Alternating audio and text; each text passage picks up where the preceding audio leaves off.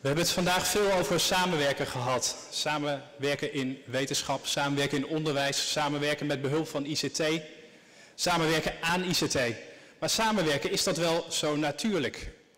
Om daar wat meer inzicht in te krijgen, hebben we Midas Dekkers gevraagd om vanuit perspectief van de biologie daar wat gedachten over weer te geven. Om ons te inspireren waar samenwerken werkt en waar samenwerken ophoudt.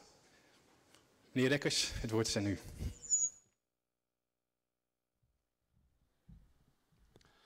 Kijken. Kijken doe je met je ogen. Je oren zijn er om te luisteren. En je neus, die is er in de eerste plaats om je dingen te herinneren. Tenminste, als u net zo'n neus hebt als ik, dan weet u dat je maar bepaalde luchtjes hoeft te ruiken. En vloeps, je bent 15, als je oud genoeg bent, 40, 50 jaar terug in de tijd. Back in the past. Ik heb dat zelf heel erg uh, met 4711. Eén vleugje 4711. En ik ben weer bij oma in de keuken. En als ik opa daar ook uh, bij wil, dan hoef ik alleen maar een sigaar op te steken. Want uit die sigarenwalm, daar doet opa op. Want een opa die geen sigaren rookt, die verstaat zijn vak niet. Uh, je, je, ziet wel eens van die moderne opa's met een joggingpak en geen sigaar. En dan denk je, oh jee, die kleinkinderen, wat moet daar van, te, uh, van terechtkomen? Nooit van zijn leven een echte opa gehad. Uh, wilt, u, wilt u echt terug naar het verleden? Dan heeft u geen tijdmachine nodig, geen ingewikkelde. Uh, Als je terug naar de tijd wil, dan hoef je alleen maar een machientje te kopen voor 25 eurocents bij de HEMA. Een puntenslijper. Even een potlood in die puntenslijper. Even aan ruiken en je bent weer bij meester Cornelissen in klas 3a. Het uh, sterkste uh, heb ik uh, dit mechanisme bij wierook. Ik ben als een goed katholiek jongetje opgevoed. En nou ja, ook maar één vleugje wierook en ik zit weer in de heilige Rooms-Katholieke kerk als jongetje. En ja, dat is hier natuurlijk extra gemakkelijk. En dan kijk ik met mijn geestesoog kijk ik om me heen in de heilige Rooms-Katholieke kerk van mijn jeugd. En wat valt mij dan op? dat de heilige Rooms-Katholieke kerk van mijn jeugd, die zat altijd vol. En wat valt je op in de heilige Rooms-Katholieke kerk van tegenwoordig? Die zit altijd leeg. En ik weet hoe dat komt. Dat is een foutje van de paus geweest. Uh, kijk, toen, toen, toen ik een jongetje was, toen stond de paus, nee, sorry, toen stond de priester, die stond met zijn rug naar het publiek toe in de kerk, want die begreep dat hij slechts een intermediair was die jij de weg moest wijzen naar iets veel hogers dan hemzelf. En toen heeft de paus in een vlaag van verstandsverbijstering en modernisering, wat vaak hetzelfde is, eh, die kerel uh, omgedraaid. En dan keek je opeens woem in het gezicht van die priester. En geen wonder dat de kerk leeg liep. Ik bedoel, je blijft toch ook niet in een autobus zitten waarvan de bestuurder met zijn gezicht naar de inzittende uh, toedraait. Uh, uh, ja, fout, nou, dat is, die fout is ongeveer in deze tijd geweest. In de jaren zestig was dit het klein seminarie van Rotterdam. Nou, dat konden ze na die, het foutje van de paus ook wel opdoeken natuurlijk, want de hele klandizie die was verdwenen. En nu is het een conferentieoord geworden. Dat scheelt niet veel. Het uh, beantwoordt allebei aan de menselijke behoeften. Of er nou een, uh, een, god in het spel is, of dat er gewoon maar iemand staat te praten. Mensen hebben er een ontzettende behoefte aan om met z'n allen samen te komen. Om met z'n allen één ding te zien, te geloven, te beluisteren. Infantiele liedjes te zingen, uh, met serpentines te gooien, ballen, al dat soort van zaken. En dat komt omdat de mens een sociale diersoort is. Denk je, ja, de sociale diersoort uh. Ik heb toevallig een heel wakker ochtendblad en daarin lees ik uh, iedere ochtend weer dat de mensen elkaar voortdurend met stompe voorwerpen op het hoofd slaan, elkaar verkrachten, stelen als de raven en wat iets meer zijn. ja, dat is waar, dat klinkt weinig sociaal. maar u bijvoorbeeld, u heeft gisteren weer niemand verkracht. U heeft vandaag uw kans om te stelen alweer voorbij laten gaan. U heeft gewoon vanochtend de vuilnisbak nog even braaf buiten gezet. En de buurvrouw gedag gezegd, ondanks dat het een klerenwijf is van hier tot ginder. Eh. En dat, dat, dat komt omdat wij zijn een sociale diersoort. Dat is, dat is niet normaal. Er zijn een heleboel diersoorten die zijn helemaal niet sociaal. Een, een tijger of zo, die loopt gewoon in zijn eentje de hele dag uh, door tijgerland. En uh, die heeft daar helemaal geen andere tijgers bij nodig. Uh, en als hij iets te eten wil, dan pakt hij dat gewoon, geen enkel probleem. Maar er zijn dus ook diersoorten, die zijn wel sociaal. En het voorbeeld daarvan is de wolf. Die, de wolf die altijd in grote groepen samengaat. Eén wolf is geen wolf, ze moeten en ze zullen altijd met z'n allen zijn dus aan de ene kant heb je de solitaire dier, dus de, de, tijger, en aan de andere kant de uh, sociale, de wolf. Nou, nou kunt u, ik neem aan dat u niet met wolven en tijgers, dat u daar goed van op de hoogte bent, maar u bent uh, wel op de hoogte, denk ik, van hun nazaten, de honden en de poezen. die zijn van, een, een, een hond is van een oude wolf gemaakt en een, poes uh, ook. En, en, door middel van een proces dat wij domesticatie noemen. Dus je kunt een wild dier waar je helemaal niks aan hebt, kun je door middel van domesticatie veranderen in een beest waar je wel iets aan hebt. En dus we hebben van de, de oeros, geweldig beest, enorm, geweldig, prachtig beest, zulke horen. Zo, hebben we Klaartje Koe gemaakt, die zich uh, naar de slagbank laat leiden alsof het uh, uh, niks is. Uh, nou, van, van de wolf, echt een fantastisch beest. Hè. Als je wolven in het wild, als je die hoort, die kunnen dus nou, bijvoorbeeld heel prachtig zingen.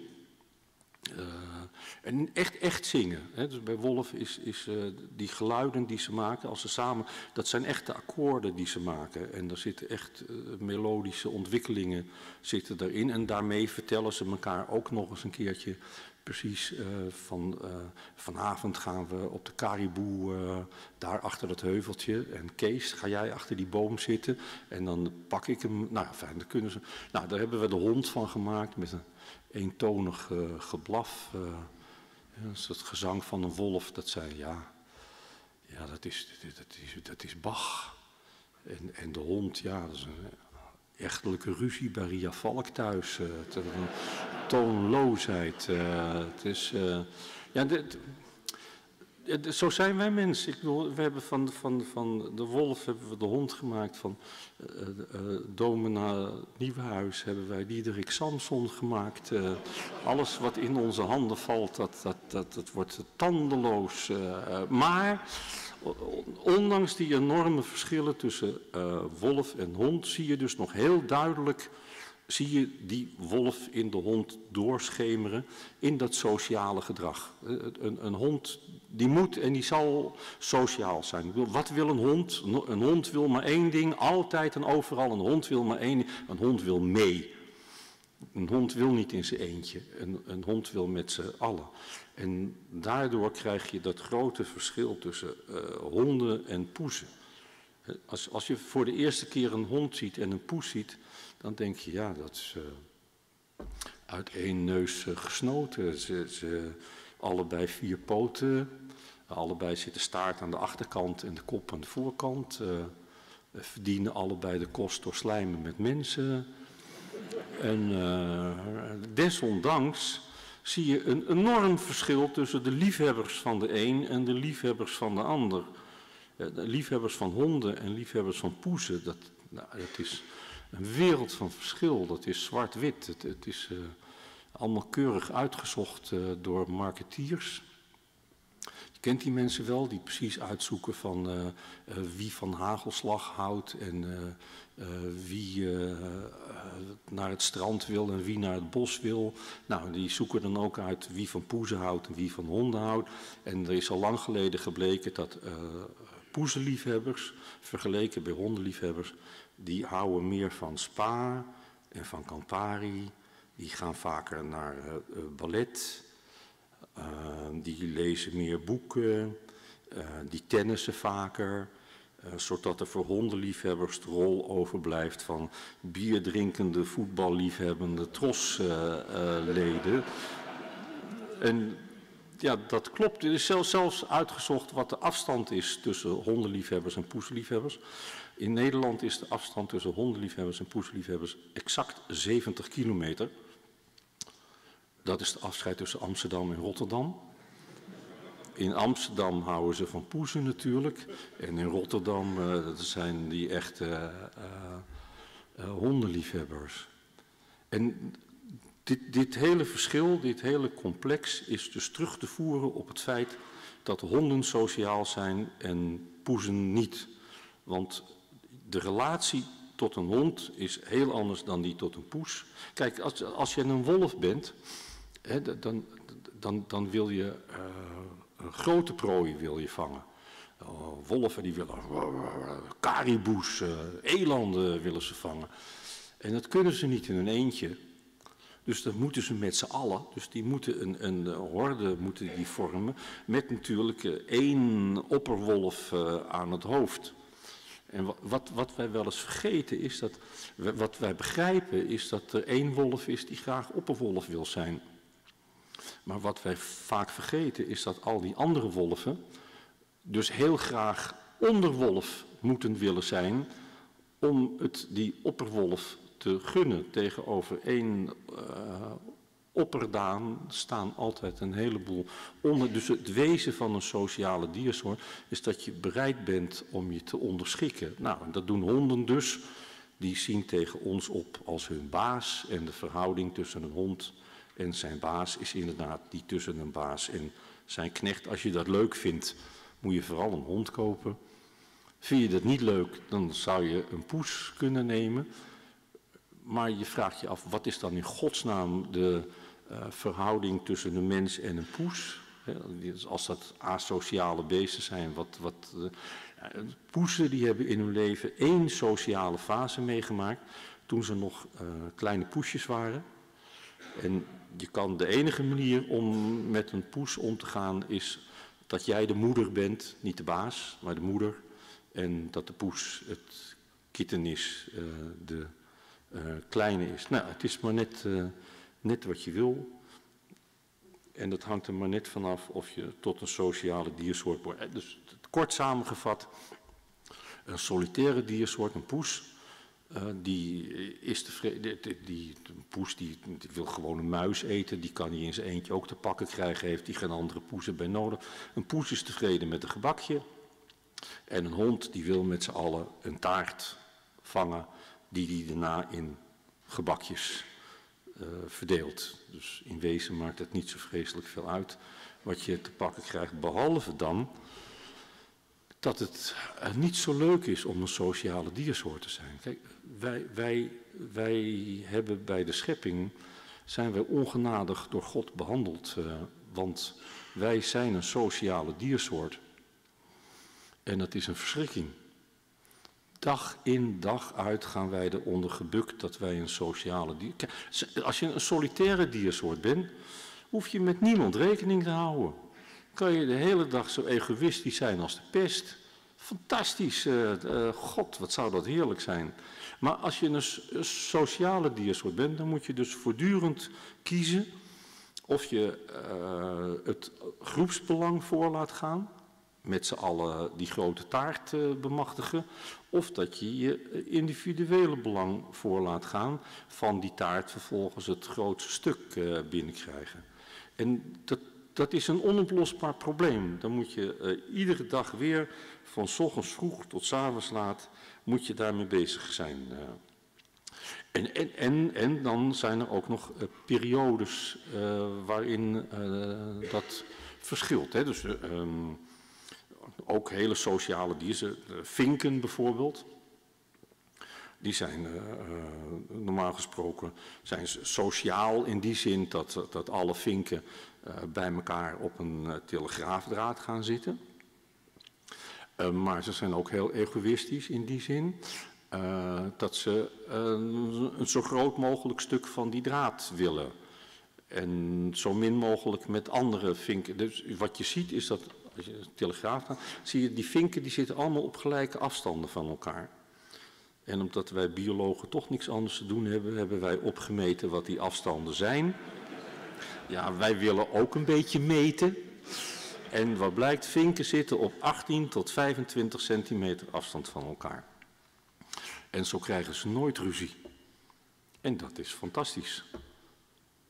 Tot het voorjaar aanbreekt. En die vinken willen vinken. Dus stel je voor, ik ben een leuke vink. Ik ben een jongensvink en daar zit 18 tot 25 centimeter afstand. Zit daar een leuke vrouwtjesvink en ik wil vinken. Maar dat gaat dus niet, want er zitten al die centimeters, die zitten ertussen. Dus wat moet ik? Ik moet mijn sociaal gehalte wat uh, oppeppen. En wat doen die vinken? Nou, dat kan je dus in het voorjaar zien. Uh, die krijgen hele mooie kleurtjes. Uh, die gaan zingen, die gaan zich verschrikkelijk uh, aanstellen. En nou, naarmate het voorjaar vordert, zie je die vinken steeds dichter bij elkaar komen. Totdat, nou, dus, daarom zijn er nog steeds vinken. en ja, wij mensen hebben natuurlijk een, een, een soortgelijk probleem. En ja, hoe, hoe, hoe, hoe lossen wij dat op? Je hebt mannetjes en je hebt vrouwtjes, ook bij mensen. En wij bewaren altijd een zekere individuele afstand tot elkaar. Nou ja, tot het voorjaar wordt. En dan uh, wil je wat. En, uh, als je de vraag wilt beantwoorden, hoe kunnen wij de mensen socialer maken? Nou, dan moet je dus afvragen, hoe, hoe deed ik dat ook alweer uh, toen de afstand tussen haar en mij steeds kleiner werd? En ja, hoe deden we dat ook alweer? Nou ja, precies als die vogeltjes natuurlijk mooi pakje aantrekken, muziek erbij, je flink aanstellen en, en vooral veel alcohol. Als, als er veel alcohol aan te pas komt, je moet maar eens kijken in een café. Zitten twee mensen zitten op twee krukken en naarmate ze meer drinken, zie je ze steeds dichter bij elkaar komen, waar ze zelf geen erg in hebben. Tenzij de een niks gedronken heeft en de ander wel. En je opeens een tong in je oor uh, voelt komen. Het valt niet mee om socialer te worden. Denk je van ja, maar meneer Dekkers, als er sociale diersoorten zijn en minder sociale diersoorten, dan is daar toch wel een mouw aan te passen. Er is toch zoiets als evolutie. Kunnen wij niet zorgen dat wij socialer worden? Bij die huisdieren, die kun je domesticeren. Dan worden. Kan dat niet bij mensen? Kunt u de evolutie... Ja, natuurlijk. Ja, ja, natuurlijk eh, kun je de mensen door evolutie socialer maken. Had dat eerder gezegd. Want ik heb daar wel wat tijd voor nodig. Evolutie gaat niet zo snel. De meeste mensen veranderen meer van een halve liter jenever dan van honderdduizend jaar evolutie. Dus ik zou dan maar een fles uh, bijpakken, want op deze manier uh, lukt, dat, lukt dat niet. Iedere, iedere soort, iedere diersoort heeft, heeft zijn eigen mate van sociaalheid precies naar gelang die dat dus een tijger heeft helemaal geen sociaalheid nodig. En uh, wolven hebben dat wel heel erg nodig en wij zitten daar ergens uh, tussenin. En uh, het, het, het, valt niet mee om mensen samen te laten werken. Uh, aan de ene kant willen ze wel, aan de andere kant willen ze niet. Uh, het is een conflict uh, wat je in, in, in Amsterdam, je kan het overal zien hoor, maar in Amsterdam is het heel, heel mooi te zien. Het conflict tussen egoïsme en groepsgedrag bij Meeuwen. Als je in Amsterdam goed kijkt, langs de grachten, zeker deze tijd van het jaar, dan zie je dat er uh, op elk grachtenpandje, en de ene een klokgeveltje en de andere een halsgeveltje en een trapgeveltje, maar er zit altijd een hoogste punt en op dat hoogste punt zit altijd één meeuw. En meeuwen zijn niet echt sociale dieren. Ik weet al hoe ze krijzend elkaar vermoorden om een stukje brood. Maar ze werken wel sociaal samen. Want ze zitten allemaal, er zit op elk topje zit er één. En als er nou eentje iets te eten ziet en naar beneden duikt in die gracht, dan duiken al die andere meeuwen, die duiken daar achteraan. Niet tot genoegen van die eerste meeuw natuurlijk. Uh, zodat je je afvraagt van zouden die meeuwen niet veel beter over het hele land verspreid kunnen zijn, zodat één meeuw alles op kan eten wat hij te pakken kan krijgen. Nee, kennelijk is het toch voordeliger om, ondanks het feit dat al die meeuwen op zich egoïsten zijn, om met z'n allen in Amsterdam te wonen. En dat als jij dan als eerste wat ziet dat je al die andere meeuwen op je nek krijgt, staat tegenover dat als iemand anders als eerste iets ziet, dat jij mee kan duiken. En kennelijk is het een toch voordeliger dan het ander. Uh, dat is in de uh, biologie altijd makkelijk te bewijzen. Als het andersom zou zijn, dan zou het niet zo zijn, want dan zou de natuurlijke selectie, zou de foute beslissing, uh, ogenblik van die egoïstische meeuwen wel hebben uit. Je, ziet het ook, een, een mooi, mooi voorbeeld van dat, dat je voor samenwerking niet na hoeft te denken. Dat je geen beslissing hoeft te nemen, kun je zien, omdat het beste voorbeeld van samenwerking wat ik ken, dat is plantaardig. Uh, dat komt voor bij, bij bloemetjes. Uh, je moet je, moet je, om het te begrijpen, moet je je even voorstellen dat je een bloemetje bent. Dus stel je voor, je bent een bloemetje en je staat uh, ergens in de natuur. Uh, stel je voor, ik ben een jongensbloemetje. En ik ben een spetter van een gozer van een jongensbloemetje. En uh, even verderop staat de mooiste bloemenmeid van de hele wereld. En het is nog steeds voorjaar, dus ik wil ontzettend graag wil ik met haar bloeien. Maar dat gaat dus niet omdat ik met die rotsteel aan die rotgrond vastzit en zij ook, ik kan er niet bij. Dus wat heeft de natuur daarop gevonden? Uh, de postillon d'amour, uh, de bij of de hommel. Dus wat gebeurt er? De bij of de hommel, die bevredigt mij en hopelijk ook haar, want dat is altijd extra fijn, dat, uh, dat weet u. maar niet voor niks tegen betaling tegen betaling van nectar, van honing. Dus als prostitutie het oudste beroep ter wereld is, dan is nectar het oudste betalingsmiddel. Dus dat is wel goed geregeld. Wat zich in uw tuin afspeelt, is je reinste gelegenheidsgeven. Maar daarmee is het probleem van die bloem nog niet opgelost. Want die bloem, stel je voor, nou, je bent een bloem, hè, je bent net gaan bloeien.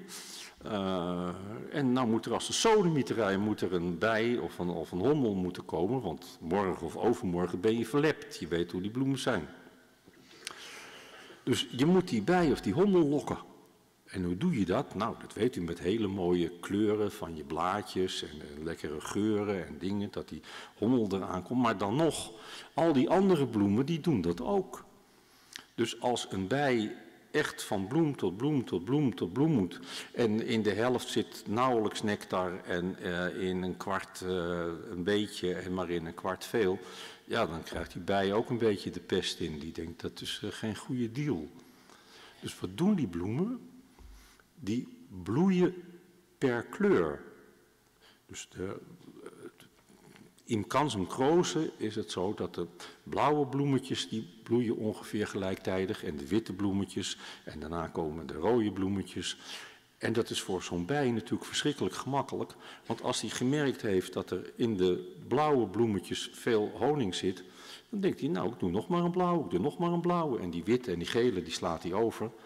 Totdat die blauwe leeg zijn, dan gaat hij op de volgende kleur over. Het is een een van de verbluffendste staaltjes van samenwerking die er in de natuur voorkomt. Omdat het A, die bloemen zo slim zijn. En B, omdat bijen natuurlijk het schoolvoorbeeld zijn van samenwerking. Uh, bijen mieren, termieten. Dat zijn de sociale insecten. En die hebben een vorm van sociaalheid bereikt die de onze uh, verre te boven gaat. Als je een, een zootje mieren ziet en je kijkt even door je oogharen heen, dan is het alsof die duizenden en duizenden mieren van een hoop die versmelten tot één wezen. Een superorganisme heeft Wheeler dat een eeuw geleden al een keertje genoemd. En uh, er is werkelijk geen beter woord voor, want uh, één zo'n beestje is niks. Dat is, een, fenomenaal verschijnsel is dat. Dus stel je voor, je hebt één termiet. Ik heb hier één termiet, die, die zet ik hier neer. Uh, en ik heb hier, eerst heb ik hier wat korreltjes gestrooid. Ik zet hier een mier neer en die gaat tussen die korreltjes lopen of een termiet. En die, nou ja, na een tijdje weet hij het ook niet meer en gaat met zijn pootjes omhoog liggen. Tweede termiet erbij, idem dito. Derde, vierde, vijfde, zesde, zevende, twaalf termieten, dertien termieten. Totdat je op een gegeven moment boven een bepaald getal komt. En als bij een wonder zie je dat die termieten aan deze kant, die beginnen met z'n allen beginnen ze korreltjes uh, te verzamelen. En van die korreltjes maken zij een pilaartje. En uh, de termieten hiero, die doen dat ook. Die maken ook een pilaartje. En het ene pilaartje en het andere pilaartje, dat groeit naar elkaar toe. En als je maar genoeg korreltjes en genoeg termieten hebt, dan wordt dat een koepel. En tweede koepel en nog meer koepels. En uiteindelijk ontstaat er zo'n fantastisch termietennest, wat we allemaal kennen van de National Geographic, met airconditioning, voedselvoorraden, ondergrondse, nou de, meest sophisticated uh. En je begrijpt dat zo'n termietje, die kan die hele termietenstaat niet omvatten. Die begrijpt God niet wat hij gemaakt heeft. Dus iedere termiet op zich is te stom om ook maar te weten wat hij gemaakt heeft. Maar met z'n allen weten ze het wel voor elkaar te krijgen. Een soort intelligentie. Als je maar genoeg uh, stommerikken bij elkaar gooit, dan ontstaat er vanzelf iets heel geniaals uit.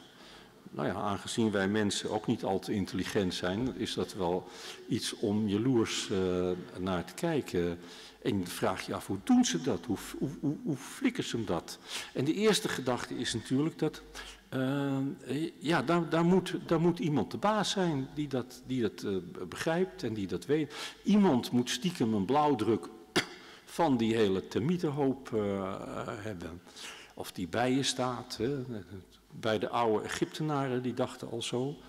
Die oude Egyptenaren die dachten in zo'n bijenkorf want die Egyptenaren die waren al aan het imkeren.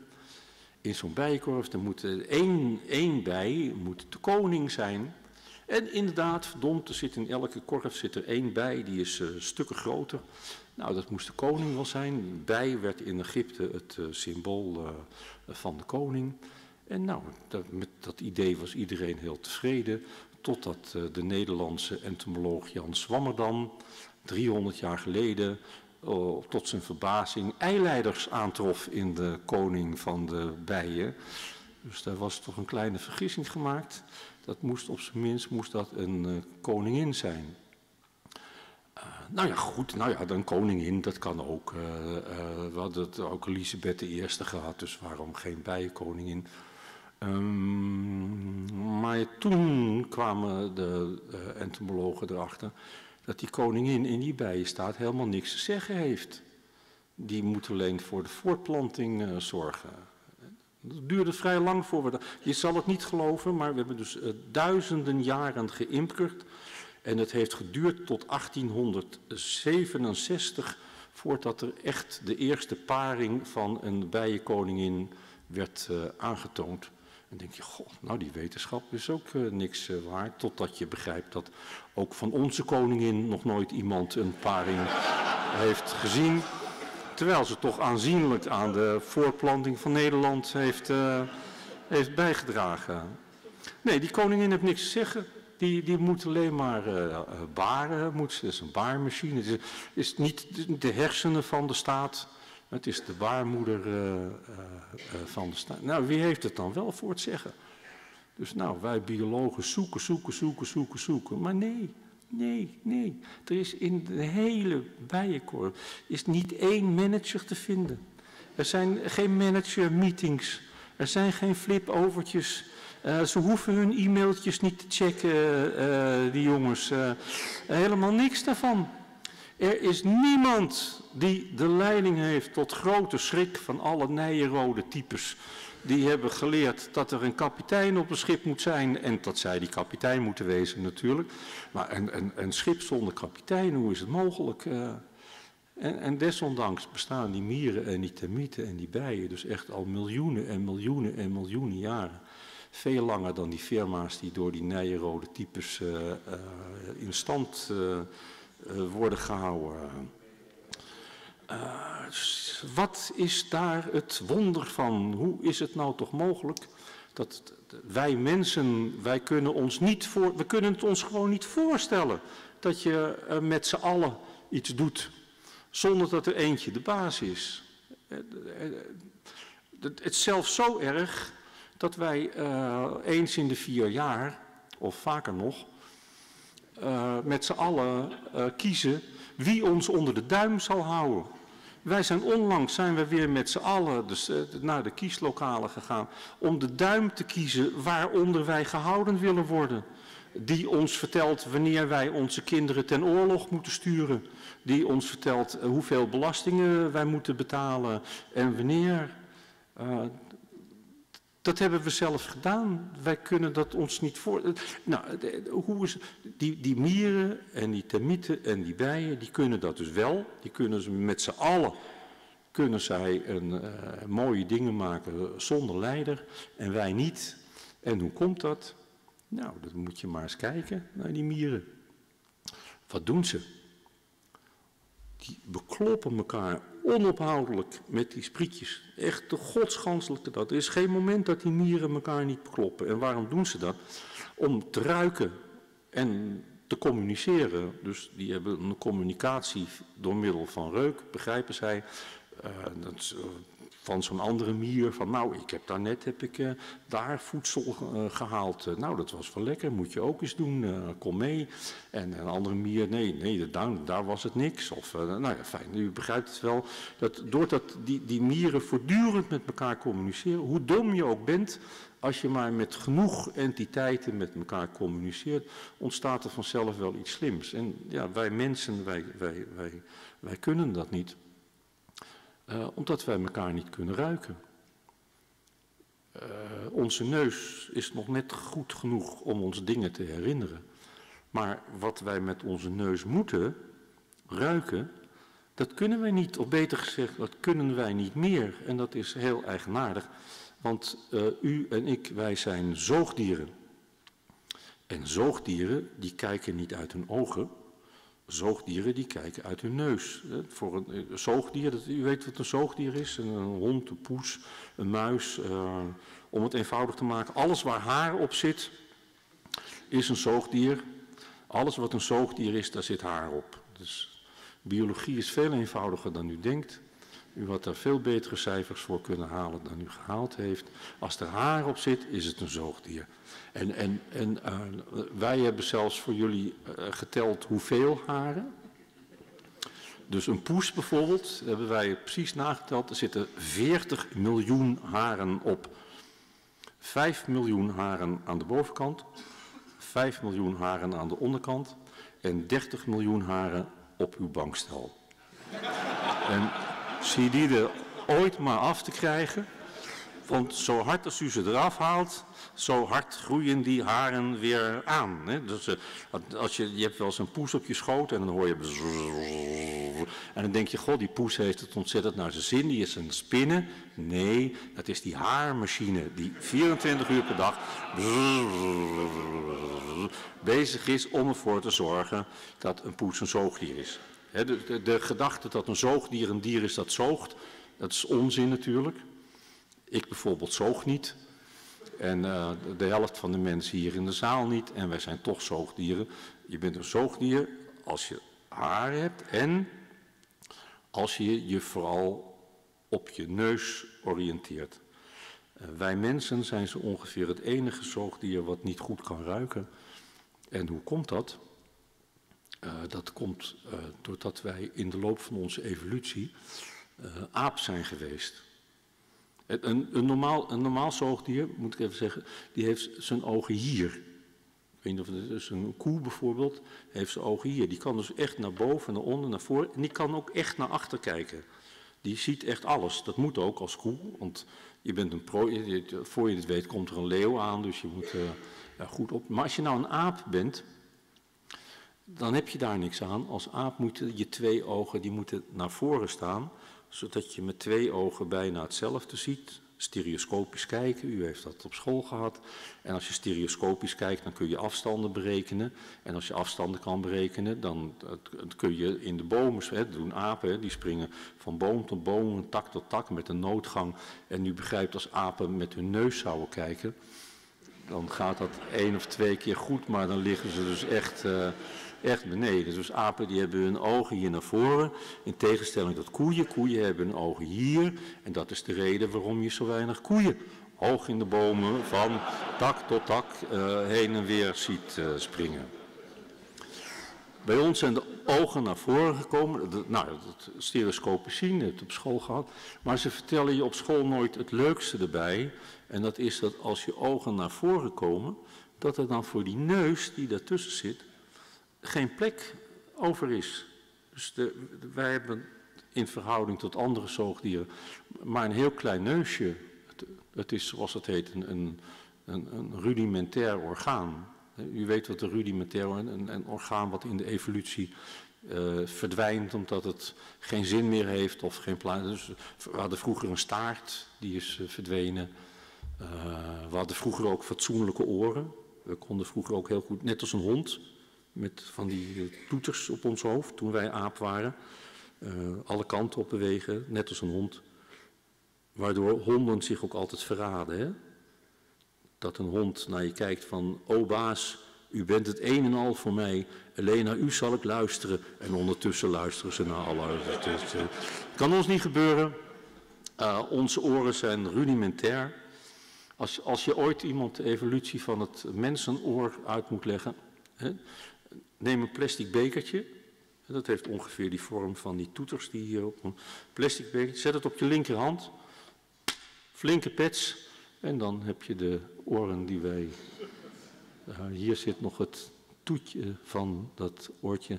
En, en uh, nou ook de, de, de spiertjes waarmee wij de oren kunnen bewegen. Die zitten er nog wel, maar die doen het niet meer. Uh, nou ja, er zijn wel 1 op de 100 mensen die kan zijn oren nog bewegen. Dat doen die spiertjes het nog wel. Maar dat doen ze niet om beter mee te horen, maar om familiefeestjes mee te verpesten. Dus daar heb je, heb je ook niks aan. Ja, onze neus is een rudimentair orgaan. Uh, nou ja, bij de een wat minder rudimentair dan bij de ander, maar toch, je, je, kan er net een brilletje op zetten, daar heb je het wel mee gehad. Dus wij mensen zijn, even serieus, wij zijn danig gehandicapt bij het communiceren. Als je uh, samen wilt leven, als je groepen wilt vormen, dan moet je met elkaar communiceren. En communiceren doe je met je zintuigen. En wel met het beste zintuig wat je hebt. Maar het beste zintuig wat wij als zoogdier hadden, de neus, dat hebben wij teloor laten gaan, omdat wij zo nodig eh, moesten kijken. Eh, wij zijn nu oogdieren geworden. De ogen zijn nu het belangrijkste voor ons geworden, maar onze ogen kunnen nog lang niet zo goed kijken als dat onze neus in de tijd kon ruiken. Als wij uh, een boef op moeten sporen, moeten wij de hulp inroepen van een speurhond, omdat wij zelf te stom zijn met die zintuigen van ons uh, om dat te doen. Dus wij zijn zintuigelijk behoorlijk onthand. Wat die mieren gewoon prieten, de prieten, de prieten, de priet kunnen, uh, dat kunnen wij niet. En wij zijn in principe dan ook voor altijd buitengesloten van de sociale status van een mier of bij, waren het niet dat een of andere wijsneus de computer had uitgevonden. En niet zo vreselijk lang daarna het World Wide Web. En sindsdien zijn er mensen op deze wereld die denken dat wij betere mensen zijn geworden, beter kunnen communiceren, een uh, fraaiere toekomst tegemoet gaan, omdat wij nu met z'n allen als het ware één organisme uh, vormen. Die mensen, ik heb wel eens met ze gepraat, ik weet niet of u ze kent, maar die, die mensen die hebben dus het idee dat ze door dat World Wide Web dat ze uh, alle informatie uit de hele wereld, uit alle uithoeken, met hun web uh, naar binnen kunnen halen en tot het hunne kunnen maken. Maar ja, die mensen gaan nooit naar buiten, die zitten de hele dag achter hun computer en die zien dus niet dat zo'n spinnenweb, uh, zij voelen zich te spinnen in het web. Maar in zo'n web zitten meestal veel meer dode vliegen dan dat er levende spinnen in zitten. En de bange vraag is dus wie wij zijn. Zijn wij de dode vliegen in dat web? Worden wij door iemand anders een web naar binnen gezogen? Of zijn wij die alles overheersende spin die iedereen wel eens even zal vertellen uh, hoe het moet? Uh, in werkelijkheid ben je natuurlijk van allebei een klein beetje. Uh, maar je bent veel meer vlieg dan dat je wel zou willen ieder moment dat je dat apparaat aanzet, stel je een spin ergens ter wereld in de gelegenheid om jou in zijn uh, web te zuigen. En de vraag is dan ook of wij deze kant wel op moeten. Wij zijn met die computers zijn wij aan het vermieren. Door constant met elkaar te communiceren kan zelfs de grootste stommeling met een zootje andere stommelingen erbij nog iets behoorlijk indrukwekkends uh, in stand uh, brengen. Maar is dat de weg die wij op moeten gaan? Vaak als mensen heel lang ergens over hebben nagedacht met hele grote hersenen, is het handig als er eens een kunstenaar voorbij komt die de zaak van wat afstand beziet.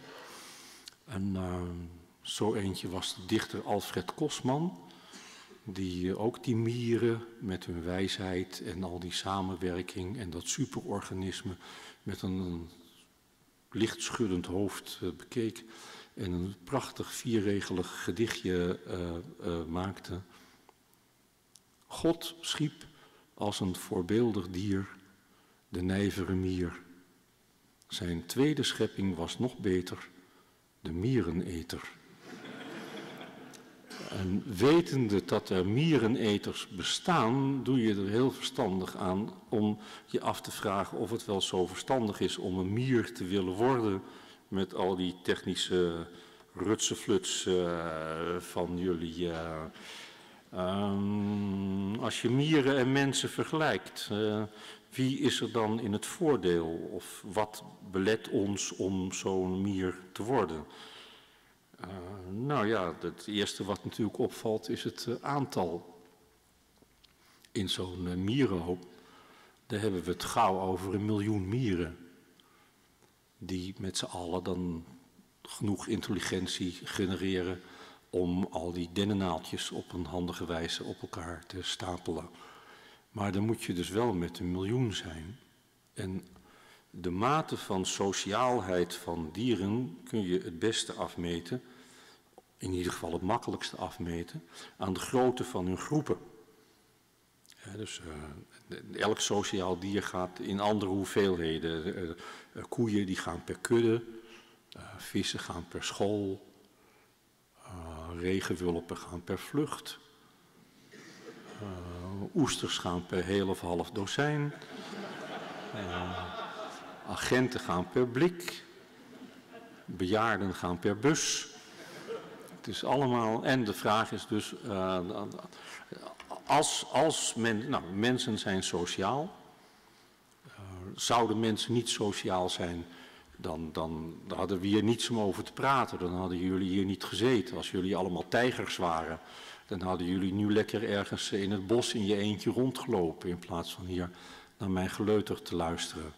Uh, maar goed, wij zijn sociaal, dat heeft een heleboel nadelen. Maar het heeft ook voordelen. En om die voordelen optimaal te benutten, moet je weten wat de optimale groepsgrootte is van de mens. Nou, wat is die? Dat, nou, dat uh, kun je vrij eenvoudig nagaan. Uh, hoeveel goede kennissen en vrienden kun je ongeveer bijhouden, sociaal gezien? Uh, hoeveel kinderen zitten er in een klas? Met hoeveel mensen ga je voetballen? 2 maal 11 plus een scheidsrechter en nog wat uh, aanhang. nou, ga zo maar door. De, een normale menselijke groep bestaat uit 30 stuks. Je ziet het ook bij veel apen dat het ongeveer de grootte is.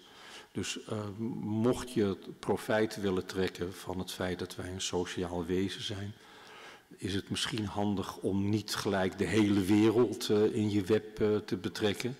Dat is een beetje veel. Mier is al te veel voor ons. probeer het eens met een, met een man of dertig. Of probeer in ieder geval die grote groep waarmee je wilt samensmelten in eenheden van dertig nou, wat, uh, wat zit ons verder in de weg om te vermieren? Nou ja, die, die vreselijke neiging van de mensen om uh, uh, het egoïsme, om jezelf voor te trekken boven de anderen. Dus de groep tolereren we eigenlijk alleen maar om met z'n allen iets binnen te halen. om onszelf des te groter te laten. Dus het voorbeeld bij uitstek, wat je tegenwoordig ook vreselijk veel ziet Ongeveer de helft van de Nederlanders die houdt zich de afgelopen 25 jaar bezig met een van de meest debiele bezigheden die er bestaat. Met sport. Uh, die, die, die gaan naar de enige school ter wereld waar je niks leert. De sportschool. Uh, waar ze zich de hele dag uh, uit de naad zweten. in de hoop om daarmee groter, sterker en beroemder te worden dan de andere mensen op de sportschool. Dus mensen gebruiken hun groep, ze worden lid van een sportclub. Niet om met z'n allen lekker sport te bedrijven, maar om daar de beste te worden. En hoe menen zij de beste te worden? Door trainen. Er is een bespottelijke gedachte op deze wereld dat als je je lichaam of je geest maar voldoende bezighoudt, dat je dan een beter lichaam of een betere geest krijgt. Eerst het lichaam maar even. Dus de gedachte is dat als je heel veel je benen en je armen en je oren en je neus beweegt en optrekt, dat je dan beter lichaam krijgt. Groter, sterker, mooier, aantrekkelijker. Zelfs mensen die, die, die verder goed bij hun hoofd zijn, die uh, hangen deze onzin aan. Terwijl je, als je toch even nadenkt, dan begrijp je dat als je iets heel veel gebruikt, dat het daar niet beter van wordt, maar slechter. Alles wat je veel gebruikt, dat slijt. Dat is een natuurwet, dat heet entropie, zoek het allemaal maar op. Als je een mes heel veel gebruikt, wordt het daar scherper van? Nee, botter. Als u heel veel in uw autootje rijdt, neemt de inruilwaarde toe? Nee, die neemt af. Alles wat je veel gebruikt, dat slijt. Met één uitzondering, inderdaad, de spieren. Als je je spieren heel veel gebruikt, dan worden zij groter, dikker, sterker, mooier als u wilt, aantrekkelijker. Uh, maar daar geldt één restrictie bij. Al ga je op je kop staan, wat je ook doet, hoe hard je ook traint, je spieren worden nooit sterker dan een derde meer dan dat zij waren. Dus als jij als slappe lul begonnen bent, word je een een derde minder slappe lul. Als je als kleerkast begonnen bent, word je een een derde grotere kleerkast. Oftewel, je begint als een sukkel die gaat trainen en je eindigt als een getrainde sukkel.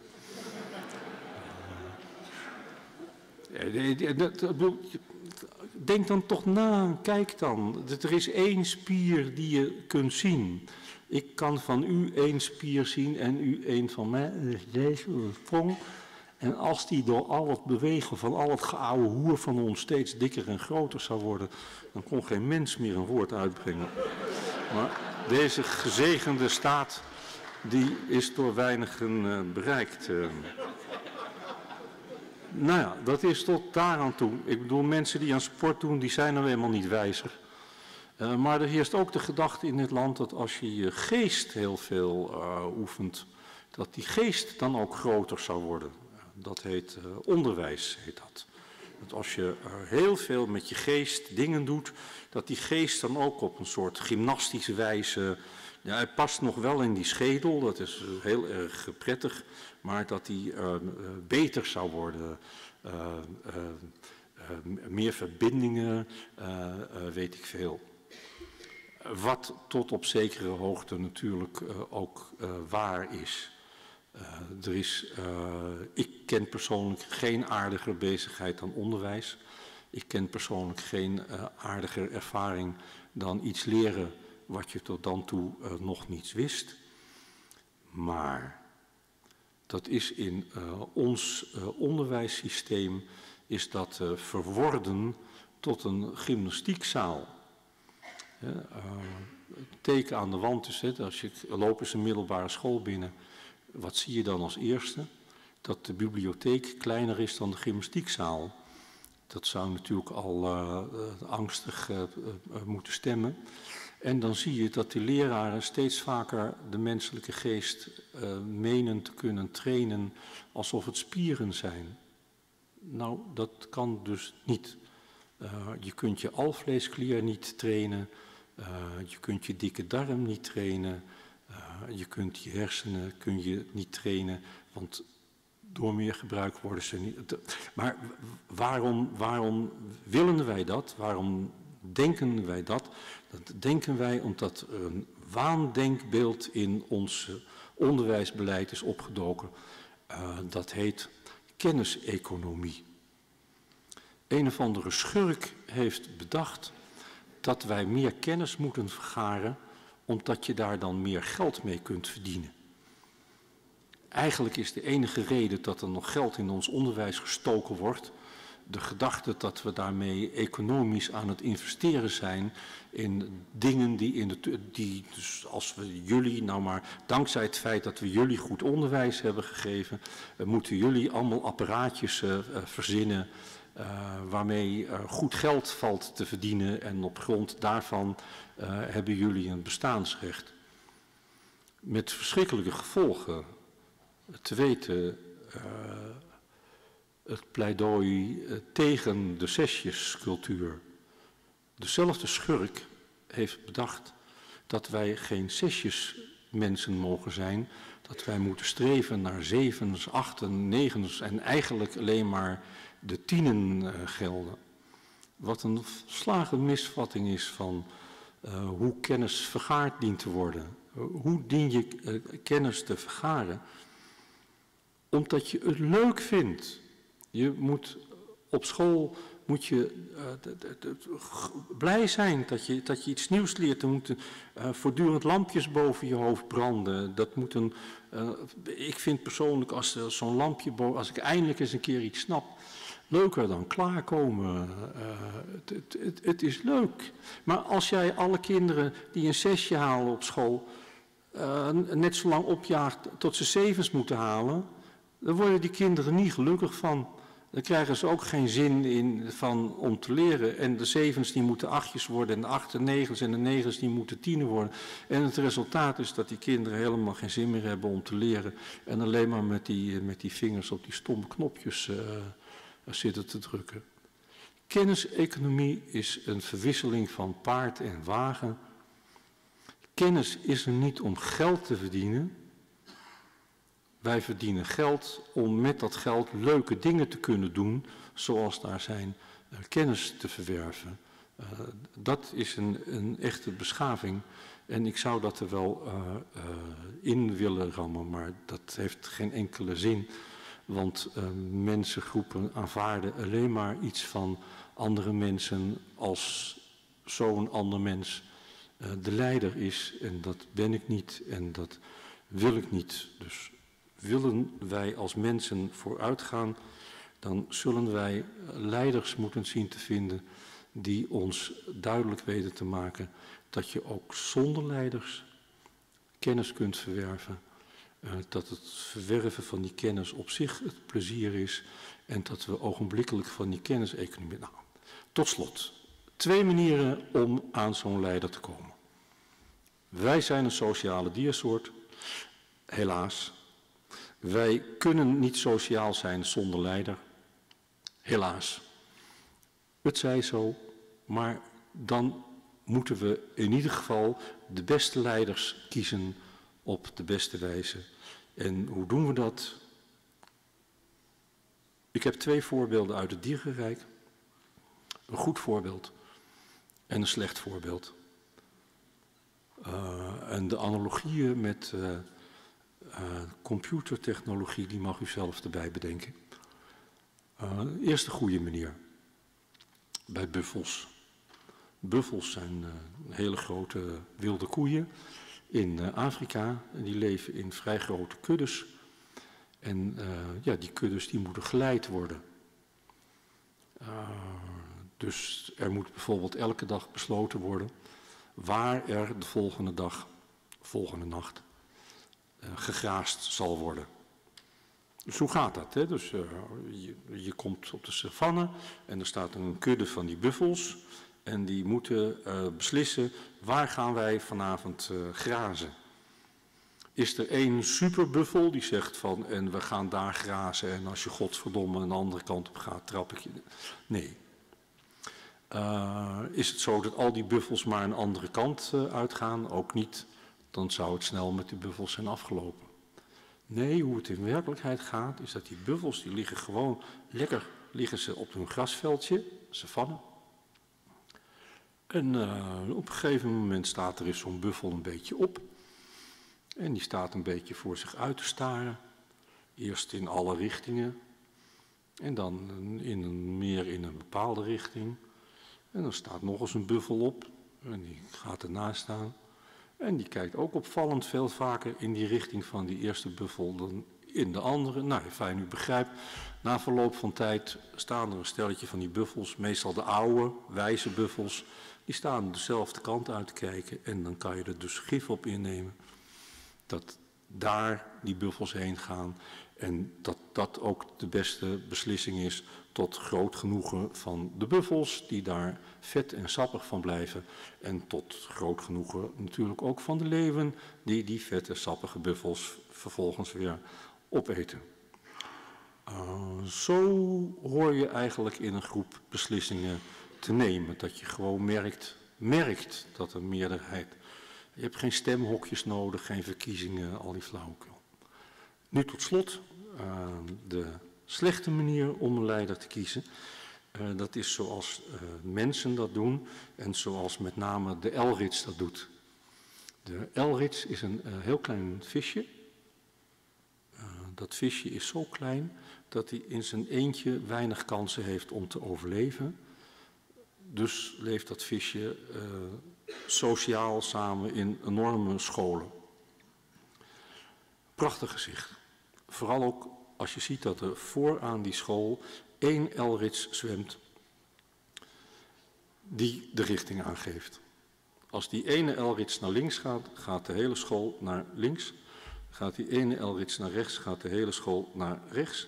Gaat die ene Elrits naar de verdommenis, gaat de hele school naar de verdommenis. De droom van elke manager.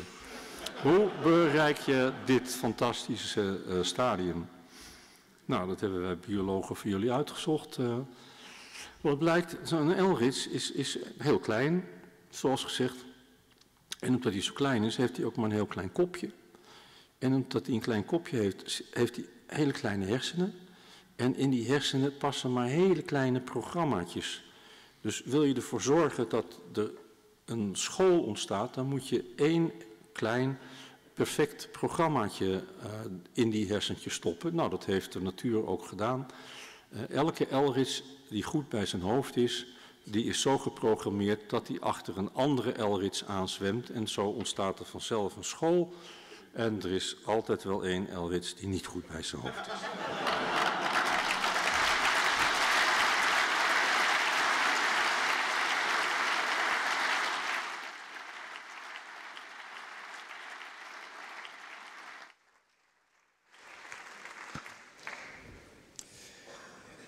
Vraag mij soms wel eens af waarom ik de kapitein op dit schip deze twee dagen ben. Maar dat is volstrekt helder geworden vandaag. Dat komt omdat soms een neus onderontwikkeld is geraakt. Nou, dat is, uh, geeft mij weer voldoende hou vast om uh, die rol dan maar te pakken. En uh, eigenlijk het einde van het programma aan te kondigen voor vandaag, of het begin voor het programma, ligt er een beetje aan of je solistisch of sociaal bent ingesteld. Want we gaan starten met het wat sociale programma, waar we ons wat verder kunnen vermieren onder het genot van een drankje. En dan schuiven we wat dichter bij elkaar.